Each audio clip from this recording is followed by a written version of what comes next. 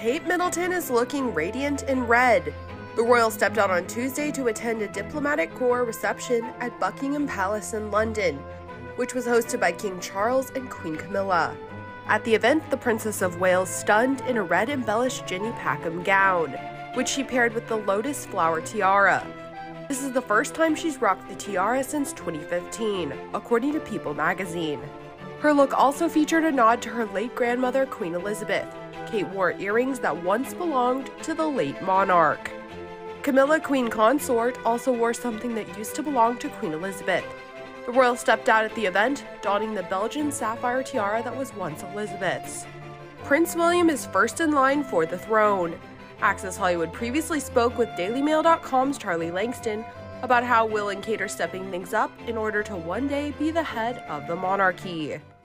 Kate and William are really kind of stepping up to the plate as far as leading the monarchy. Now, William is not the next in line to the throne. His father, Prince Charles, is going to be the next monarch in the United Kingdom. However, William and Kate are very much already in that kind of waiting in the wings role where they are both very much aware that they will be on the throne probably, you know, not too far in the future. I think they both know that Prince Charles is not a young spring chicken. He's not the age that Elizabeth was when she became queen. And I don't think anyone is expecting Prince Charles to sit on the throne for decades and decades to come.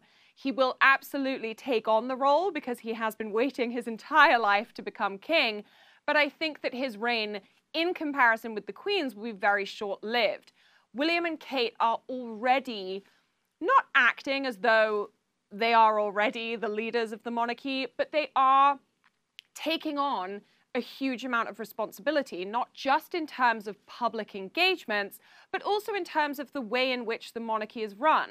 They're making small but very important changes, opening up the monarchy to a more modern point of view, not perhaps in a way that is noticeable every single day, but bit by bit, they have kind of helped the monarchy to evolve, to kind of embrace new traditions, and to kind of maintain the important heritage of the past while also kind of saying, okay, a few of the things that we used to do are seen as being very stuffy. They are very stuffy. Here are ways where we can kind of maintain the tradition behind these things without making it appear as though we are completely ignorant to what the rest of the world is doing and how they're living.